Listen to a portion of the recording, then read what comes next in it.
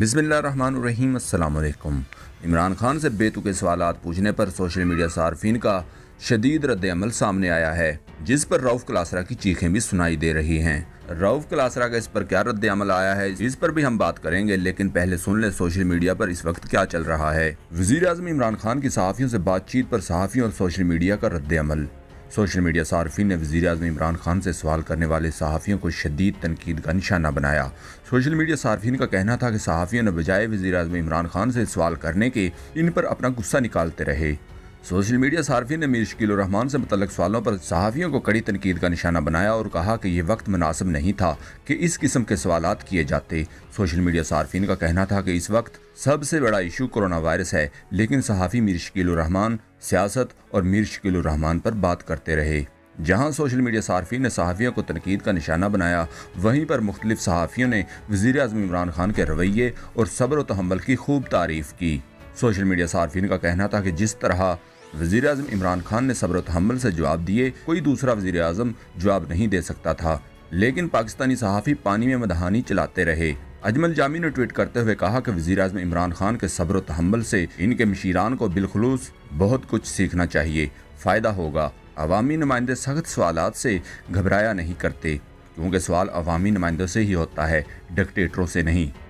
ہم نیوز کی صحافی صفحہ یوسف زئی نے ٹویٹ کرتے ہوئے اجمل جامی کو جواب دیا، لیکن آج ایک چیز مجھ جیسی جونیئر نے بھی سیکھی ہے کہ کم سے کم میں نے وہ کبھی نہیں بننا جس کو سوال پوچھنے میں اور وزیر اعظم سے بدتمیزی کرنے میں فرق نہ پتا ہو۔ شخص آپ کو ناپسند ہو سکتا ہے، حق ہے آپ کا۔ لیکن آپ کے ملک کا سب سے بڑا عہدہ اس کے پاس ہے، اس کا لحاظ کر لینا چاہیے تھا۔ دنیا نیوز کے صحافی خاور گھمن نے کہا کہ جوابوں سے اختلاف ہو سکتا ہے، لیکن اپنی بیس سالہ صحافت میں کسی بھی پرائم منسٹر نے اتنے سخت سوالات سننے کی کبھی بھی ہمت نہیں کی۔ اللہ تعالیٰ اس مملکت خداداد پاکستان پر رحم کرے۔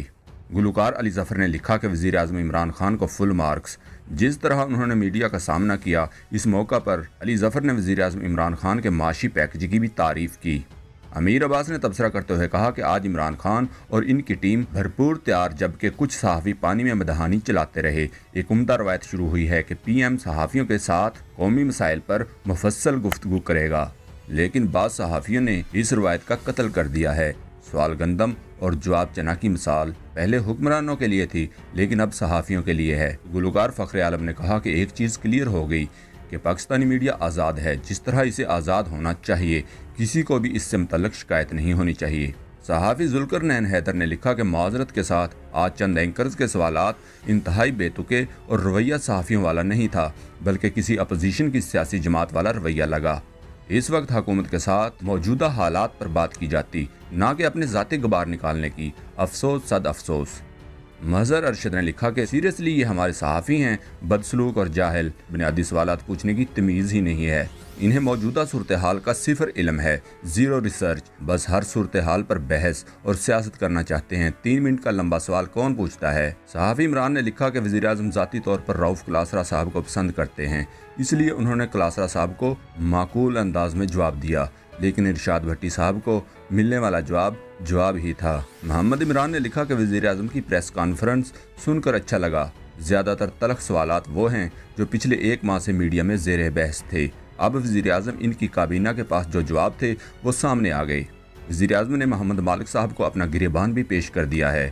قاضی جلال نے کہا کہ پہلے یہ کہتے تھے، صوبے وزیر اعظم ہاؤس سے چلائے جا رہے ہیں۔ جبکہ اب جب صوبے اپنے فیصلے خود کر رہے ہیں، تو کہتے ہیں حکومت نام کی کوئی چیز نہیں ہے، منافق میڈیا۔ علی سلمان الوی نے لکھا کہ این ڈی ایم میں چیئرمین جنرل افضل نے پانچ منٹ بات کی۔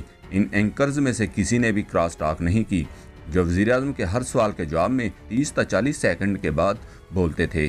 اقرار الحسن کی اہلیہ اور صحافی فاریہ اقرار نے کہا کہ وزیر اعظم عمران خان کے لیے فل مارکس۔ انس مسرور بدوہی نے محمد مالک کو تنقید کا نشانہ بناتے ہوئے کہا کسی ملک کے وزیر اعظم کے لیے ایسے الفاظ استعمال کرنا انتہائی گھٹیا اور غیر اخلاقی عمل ہے۔ وزیر اعظم عمران خان سے سوال کے بعد سوشل میڈیا ٹرولنگ پر روف کلاسرا کا رد عمل آیا ہے۔ روف کلاسرا نے اس پر اپنا رد عمل دیتے ہوئے کہا کہ سوشل میڈیا سیلز کو مجھے سبق سکھانے کا ٹاسک دے دیا گیا ہے۔ کرونا وائرس کے حوالے سے وزیر اعظم عمران خان نے صحافیوں کو بریفنگ کے لیے طلب کیا، جس کے دوران سینئر صحافی روف کلاسرا کرونا وائرس کے حوالے سے سوال کرنے کی بجائے شکیل الرحمان کے بارے میں سوالات کرتے رہے، جس کی وجہ سے ہی سوشل میڈیا پر شدید رد عمل آیا جس پر روف کلاسرا کافی پریشان ہیں۔ اگر آپ کو یہ ویڈیو پسند آئی ہے تو پاک ٹیوب 24 کو سبسکرائب ضرور کریں۔ شکریہ۔